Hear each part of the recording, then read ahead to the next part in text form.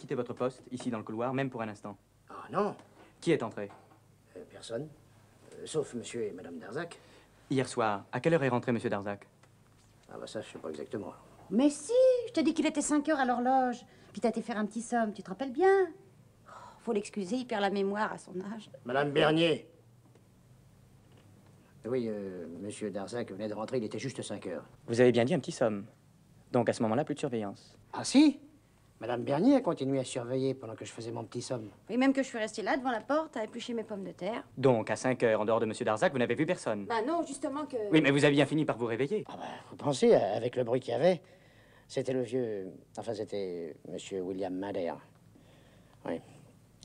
Alors, j'ai regardé la pendule, il était 6 heures. Même que ça m'a étonné d'avoir dormi une heure parce que j'ai le sommeil difficile. Et après? Après? Eh ben alors, euh, je, je suis parti dans le couloir et là, monsieur Darzac était sur le pas de sa porte. Il était pas content vu qu'il avait été dérangé par le bruit. Alors là-dessus, Mme Bernier est arrivée avec sa bassine d'eau et elle a dit que c'était le vieux Bob qui revenait. Alors monsieur Darzac est rentré chez lui et moi j'ai repris ma garde. Mais alors, pendant que vous dormiez, et que madame Bernier allait chercher de l'eau, Larsan pouvait rentrer? Ah, je suis stupide. Si quelqu'un était entré, vous l'auriez vu puisque vous y étiez. Évidemment. Où voulez-vous en venir Vous allez voir. Je voudrais vous expliquer la présence de Larsan dans votre chambre. Il n'y a que deux personnes qui sont entrées dans votre chambre, Madame Darzac et vous. Or, à la nuit tombée, il y avait trois personnes. D'où venait le troisième homme?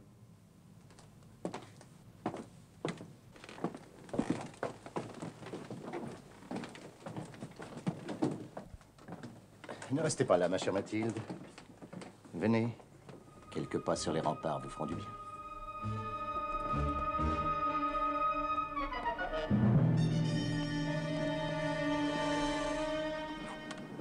Tremblez Excusez-moi, je, je suis à bout de nerfs. Je crois surtout que vous avez peur de moi. Non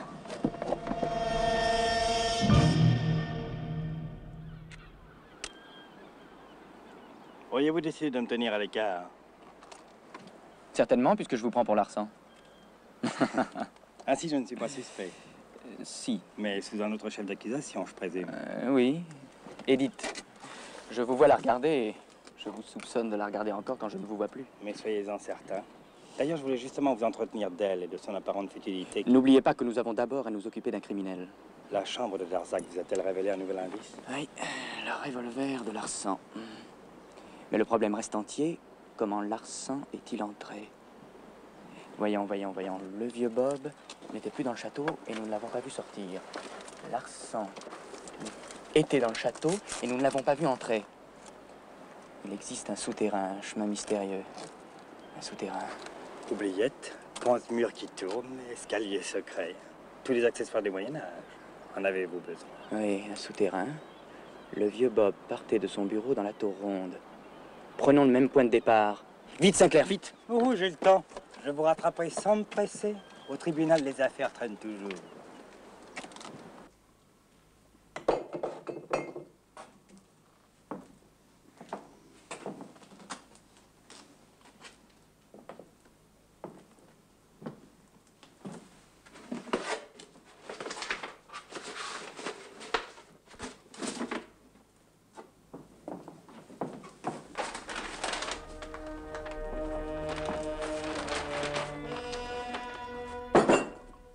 Plan du château.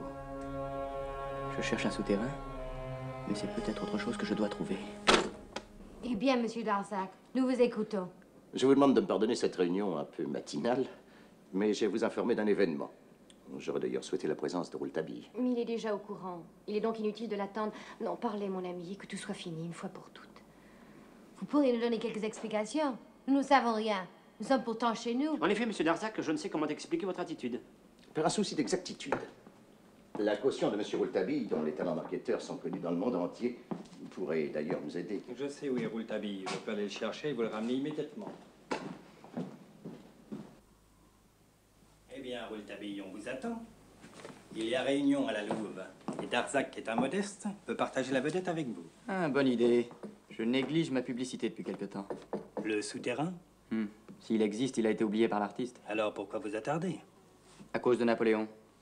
Napoléon. Vous dites bien Napoléon Souvenez-vous, un croquis vaut mieux qu'un long discours.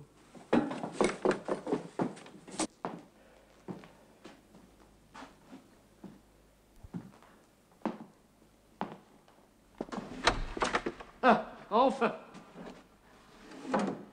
Je suis navré de venir troubler cette atmosphère de franche gaieté.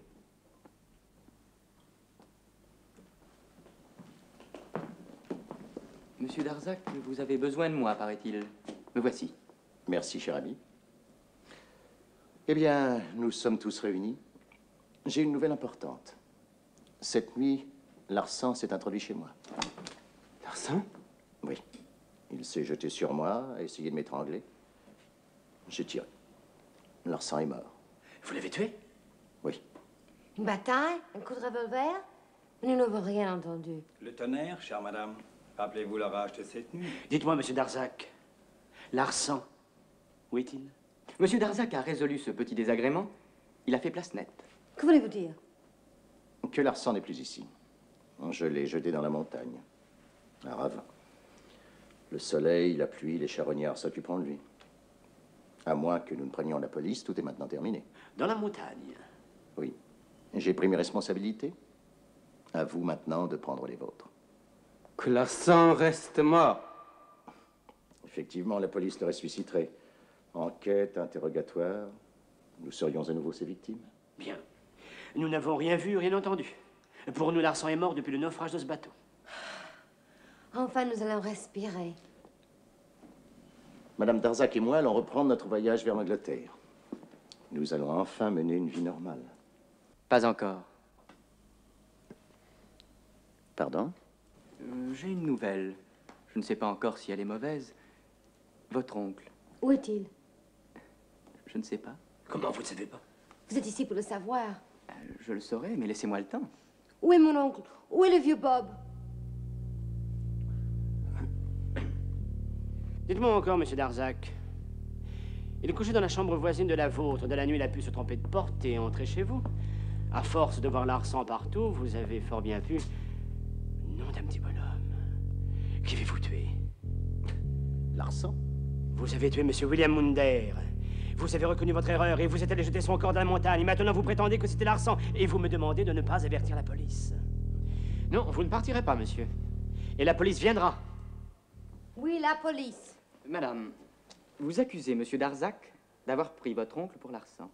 Mais Mais quoi encore? Ceci, souvenez-vous, quand votre oncle est venu vous rejoindre, Oui, oui, et bien. vous ne l'aviez pas vu depuis plusieurs années. Combien exactement?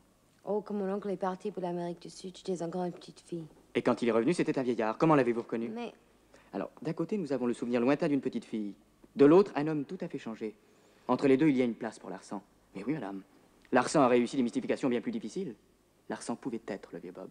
non, non, c'est impossible. C'est ridicule, monsieur. L'arsan pouvait très bien avoir pris l'apparence de votre oncle. D'ailleurs, monsieur Darzac doit savoir. Votre Larsan, à qui ressemblait-il? Oh, un visage dans l'ombre, une silhouette qui pouvait être celle de, de n'importe qui. Larsan, n'importe qui. Monsieur Darzac n'a fait qu'entrevoir l'arsan. Dans l'ombre, un visage rasé, un masque presque anonyme, ajoutez à cela une perruque, des postiches. Il pourrait être qui vous voudrez. Même vous. Ah non, mais si parfaitement. Peut-être aussi vous, Sinclair. Même vous, madame. Ah, mais oui, pourquoi la réincarnation de l'arsan ne serait-elle pas due à une femme? Il y a même une hypothèse qu'il m'est impossible d'écarter, cher monsieur Darzac. Si vous nous avez menti, vous pouvez aussi être l'arsan. Alors, c'est très simple, puisque nous ne pouvons rien contre l'arson. Mon ami, vous pouvez aller chercher la police. Permettez-moi de vous mettre en garde, chère madame. Communiquer la disparition de votre oncle à la police, c'est aussi la mettre sur l'affaire Larsan. Et l'amener à découvrir que jusqu'ici, tous les habitants du château, y compris vous, avaient caché sa présence ici. L'ennemi public avait fait sa réapparition, vous le saviez, et vous n'avez rien dit. Moi, j'y voulais bien parler. Et vous ne l'avez pas fait. Ah, Mon ami a raison, chère madame. La police pourrait fort bien inventer une accusation de complicité. Et en tant que juriste, je... Le responsable de tout cela, c'est vous, monsieur Rouletabille. Vous n'avez même pas été capable d'empêcher Larsan d'entrer au château. C'est vrai, c'est vrai, je n'ai pas été capable d'empêcher Larsan de s'introduire dans le château. Mais j'ai découvert depuis ce matin la carte qui me manquait. Et que vaut-elle, cette carte? Laissez-moi le temps de la jouer. Mais vous faut-il? 24 heures. Vous jouez pas vite, monsieur Rouletabille. La partie dure depuis des années, mais ce sont les dernières 24 heures. Si demain je n'ai pas élucidé définitivement l'affaire, vous pourrez prévenir la police. Je vous demande d'attendre jusque-là. Bon, 24 heures, mais pas plus. Je vous en supplie, retrouvez le vieux Bob. Ramenez-le. Et je vous préviens, Monsieur Rouletabille Monsieur Rouletabille Dans la montagne, là où la charrette s'est arrêtée. Le sac était vide. Larsan n'est pas mort.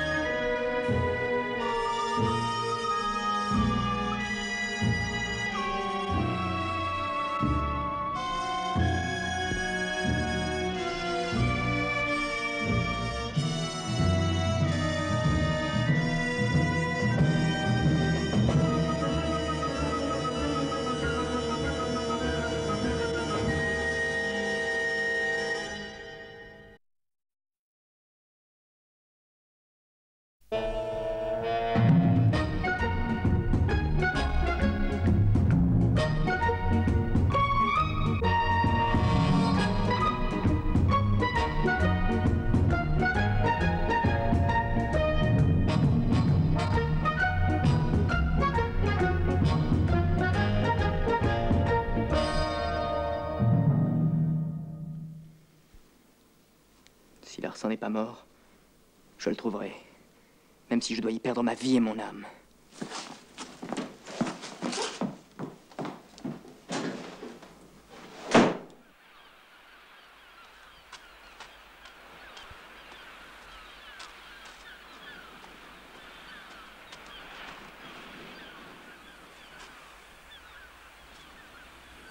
Du sang. La charrette est passée ici.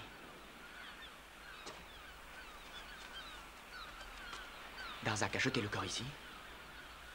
Des traces de pas.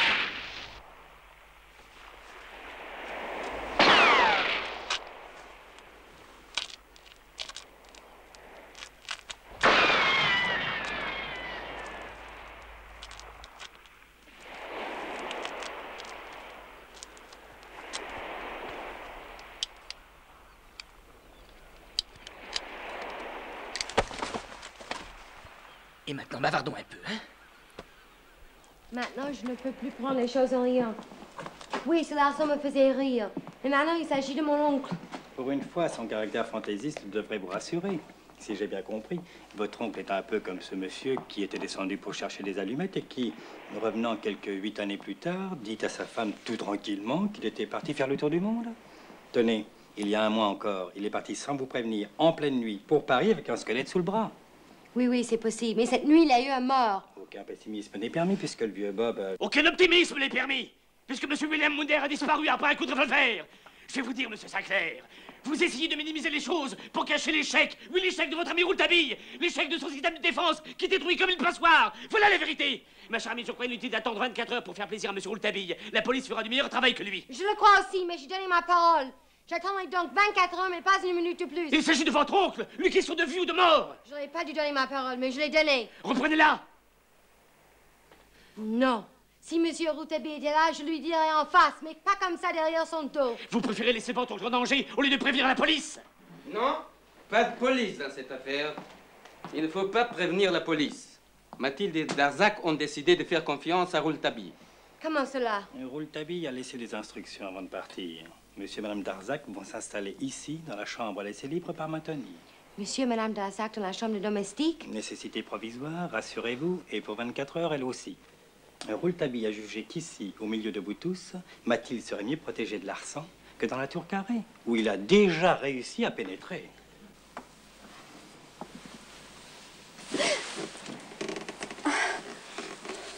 Il plus rien à craindre. Larsan est mort. Il perdait son sang, la carriole en était toute rouge. Comment aurait-il pu survivre? Toute rouge. Oh. Mais Rouletabille, qu'a-t-il pu lui arriver? Je n'en sais pas plus que vous. J'ai vu partir ce matin vers les collines. Il suivait les traces de la charrette.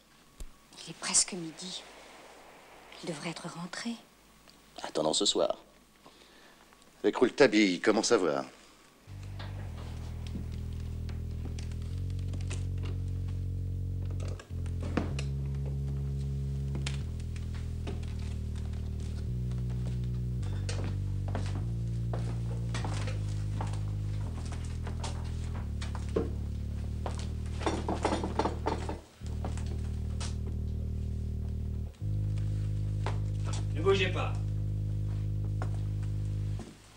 Professeur Stangerson, que faites-vous ici? Et vous-même? Je vous attendais, sans le savoir d'ailleurs. Voyez-vous, j'avais la certitude que dans ce bureau d'où le vieux Bob est parti, il allait se passer quelque chose. Et vous voilà au rendez-vous. Vous dois-je une explication? Non. En ce cas, je peux vous la donner. Je venais chercher un livre. Parce que vous lisez avec des gants. Les gants de Larsan Je ne vous le fais pas dire. Expliquez-moi donc comment ces gants ont pu tomber de votre poche. Si ces gants sont ceux de Larsan, ils sont aussi et surtout les gants du vieux Bob. Ils sont tombés de la bibliothèque et non de ma poche. Tombés à vos pieds, professeur. Voulez-vous avoir l'extrême obligeance de les essayer?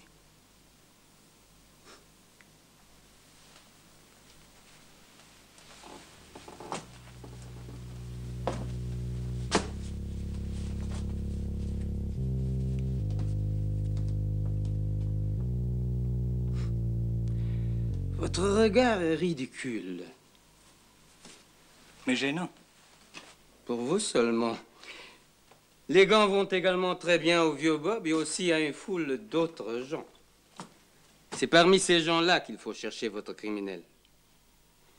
Vous pouvez d'ailleurs essayer vos gants noirs à toute la terre. Et pourquoi pas? Mais bien sûr, monsieur Sinclair, que nous vous comprenons. Tout le monde est suspect. Comme dans les histoires de détectives. Et après l'essayage, un seul coupable. Eh bien, j'essaie, monsieur Sinclair. J'essaie même tout de suite. Excusez-moi d'arriver si tard. Galich Quel beau suspect Ah, si seulement monsieur Rouletabille était là par Washington, quel beau suspect Pardon? Je crains de ne pas bien saisir. Madame Rance m'avait invité pour le café. Je n'arrive que maintenant, mais... Je suis surprise que vous avez des excuses. Vous nous arrivez sans doute du fond de la préhistoire. Je l'avoue, madame. Mais quelles sont les nouvelles de votre oncle? Aucune. Permettez-moi, chère madame, de partager votre épreuve. J'aime beaucoup votre oncle. Sa cocasserie, son enthousiasme. Il nous manque des hommes de cette sorte. Merci. Je me suis souvenu de votre invitation à venir faire un peu de musique ce soir.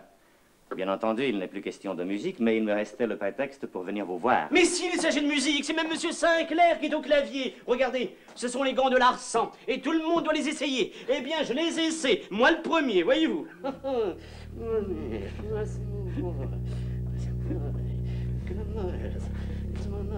Mais c'est merveilleux, ils me vont très Vous bien, ces voyez, vous cherchez un larçon et vous en trouvez plusieurs. Et vous n'avez pas essayé vous-même.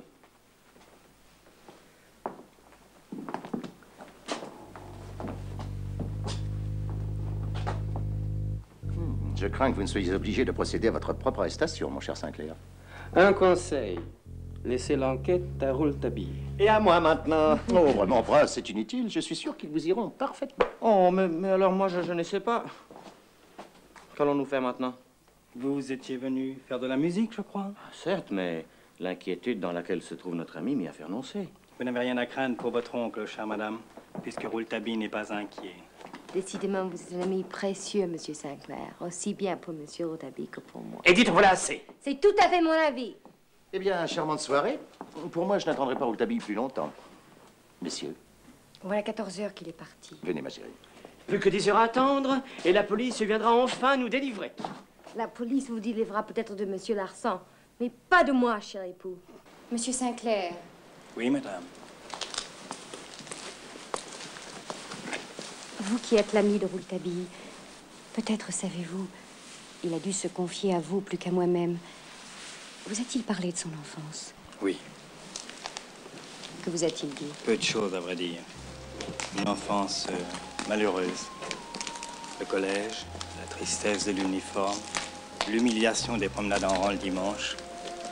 Et puis, une dame en noir qui venait le voir. Parfois. Vous a-t-il parlé de cette dame en noir? Et où était le collège? En Normandie, à quelques kilomètres de la mer. Une petite ville près de Fécamp.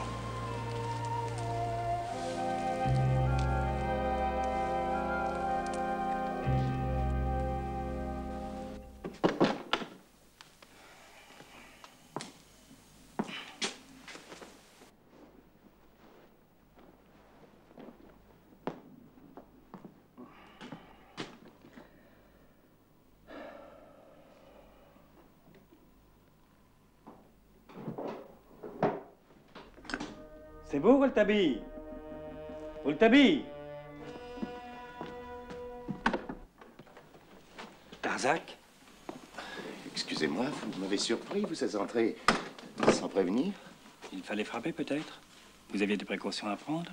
Moi, pas du tout, surtout avec vous qui êtes mon ami. Que faites-vous en pleine nuit dans la chambre de Rouletabille? Je ne crois pas savoir répondre à cette question. Je le ferai pourtant au nom de notre amitié. C'est tout simple.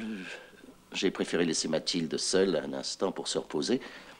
Alors, comme la chambre de Rouletabille était vide, j'ai pensé venir m'y étendre un moment. Pourquoi me regardez-vous comme un criminel? Ce n'est pas moi qui ai prononcé le mot. Où voulez-vous en venir?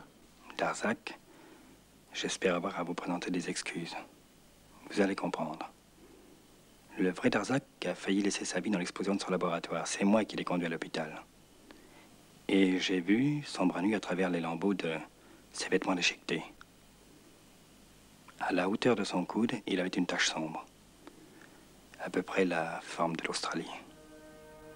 Darzac, voulez-vous relever votre manche? Vous me soupçonnez? Je regrette, oui. Je vous soupçonne. C'est ridicule. Et c'est la fin de notre amitié. Mais puisque vous insistez,